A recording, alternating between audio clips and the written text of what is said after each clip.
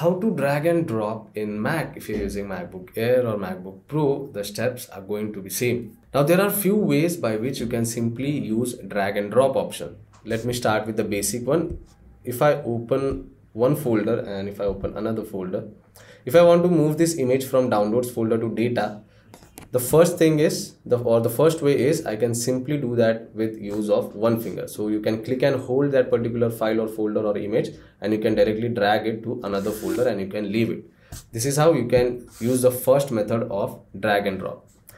The next way is let's say for example if you are at the end of your trackpad. So if you are using only this portion of your trackpad and if you want to drag a file from one folder to another let's say if i want to drag this image i'm going to again click and hold and i'm going to go to another folder but as my trackpad is over i am unable to go ahead. So in that case you can use the second method and that is with one finger you can just click and hold the image or file or folder and with the next finger you can just simply drag like this. So this is the second way of dragging and dropping in your mac now for the third way, there is a setting which you can do and that is the simplest setting uh, which you can find in your Mac. For that, you need to go in system settings in your Mac and once you go in system settings, go down, select trackpad option and make sure tap to click option is on. So if it is blue, it is on. Once you make sure that the tap to click option is on, then you can go in accessibility option and over here go down and select pointer control.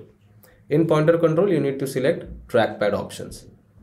Now over here, you get an option of use trackpad for dragging. So turn on this toggle and in dragging style, you get three options. One is without drag lock, another one is with drag lock and the last one is three finger drag. So if you want simple method, you can select three finger drag and don't forget to select this OK option. Then only this setting will be saved. So if I select OK for now, the setting is saved.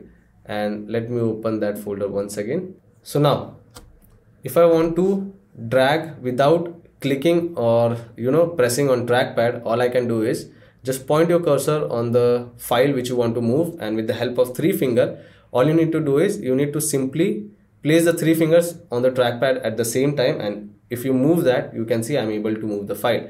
And I can simply drop that to another folder. Again if I go over here if I tap with three fingers now you can see. It's simply you can move anywhere you want and just go on the next folder and drop it. So this is how simple it is to use drag and drop feature in your Mac. So if you find this video informative don't forget to subscribe. I will see you all in the next one. Thank you